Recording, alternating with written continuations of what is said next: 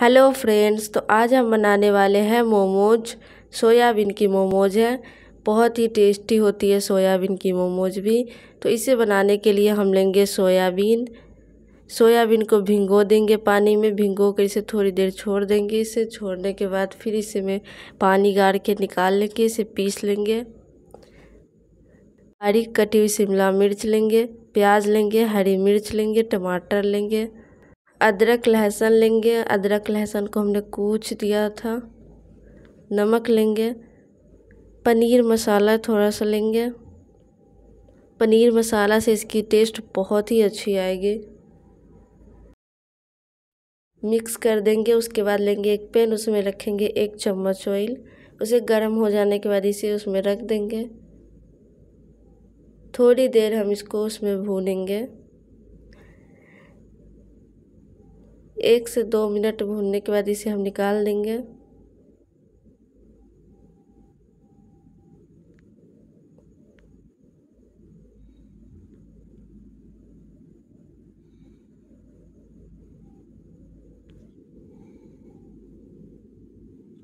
अब हम लेंगे एक बॉईल उसमें रखेंगे मैदा, एक कटोरी मैदा, नमक, स्वाद अनुसार ऑयल दो चम्मच।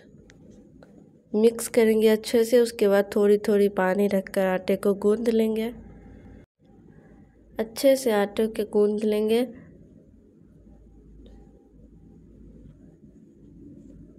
तो आटा रेडी हो गई है छोटा छोटा सा हम लेंगे।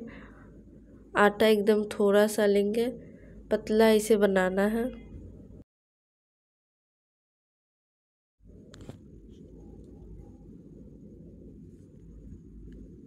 तो ऐसा बेल लेना है, ना मोटा, ना पतला। उसके बाद हम इसमें रखेंगे सोयाबीन, इसे मोमोज का साइज़ दे देंगे। बहुत इजी है इसका मोमोज का साइज़ देना।